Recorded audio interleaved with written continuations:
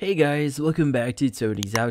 In this video, I'll show you how to make a GIF in Photoshop in 2023.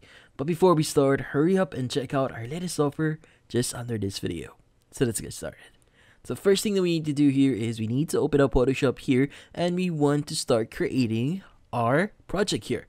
Now there are a few things that you should remember here is currently you have to basically determine how big your uh, project is.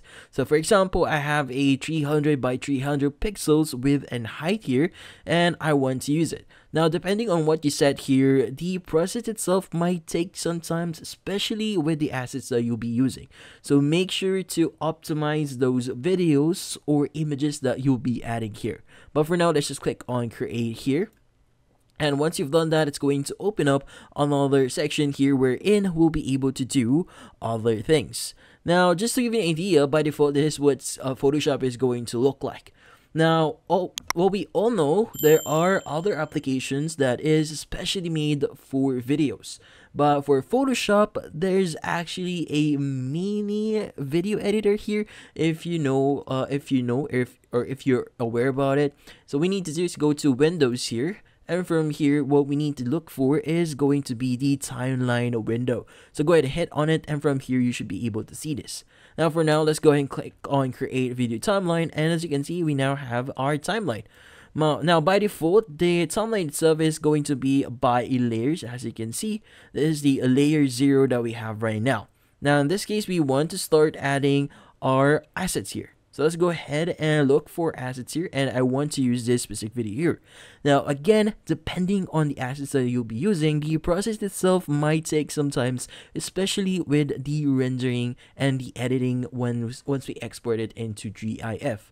Now for example, let's go and drag it into the layer, layer section here and as you can see, this is now our video. Now from here what we need to do next is you could go ahead and just change the length of the video itself. Like for example you want to lessen it you could go ahead and do that as well. But for now once you've done that you could go ahead and go to files at the top left of your screen and from here you want to go ahead and go to export. Now under export, look for the save for web, which is a legacy feature for Photoshop. So let's go ahead and click on it.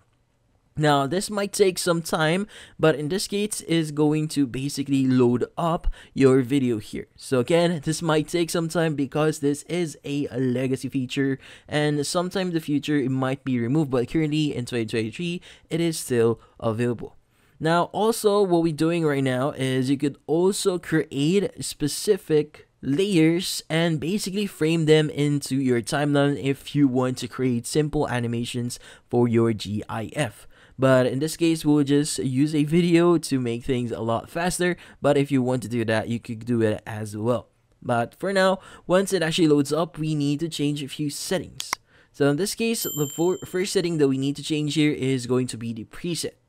So under preset, you have to ensure that you choose GIF64 Dithered here, but you could also choose other presets, but I do uh, prefer GIF64 Dithered here.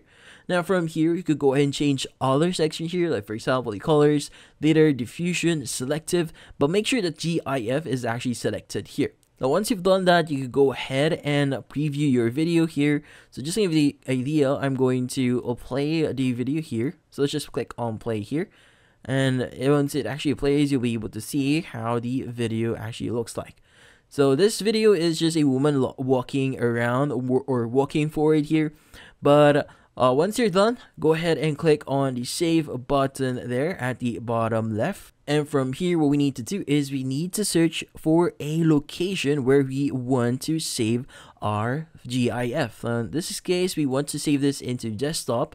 And from here, let's go ahead and click on save.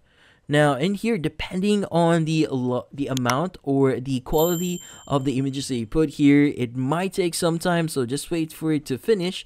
But once it completes, you should be able to see a notification here that is that it is actually successful. Now you'll know that the process has completed once once it actually brings you back into this specific UI here.